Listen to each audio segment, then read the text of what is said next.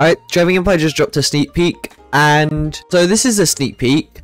Um, pretty sure you can tell instantly what it is. It's the De Tomaso P72, literally the car we have in game.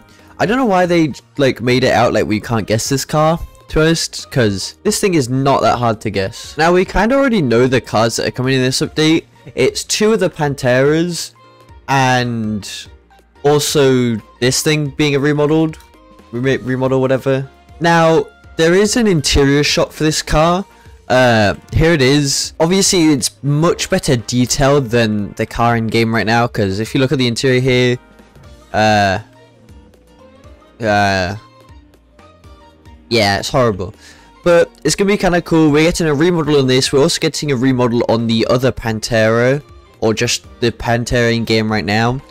And we're also going to get another new Pantera. So we're getting two Panteras and then a remodel of this.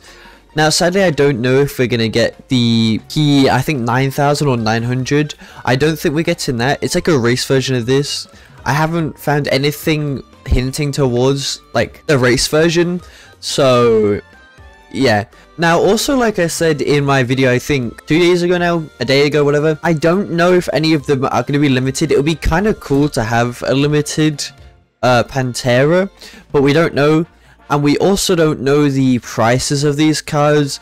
In real life price of this is 1.4 million and the Panteras are around 120,000. So I think the Panteras are probably going to be bumped up in price and this might be lowered to like around a million.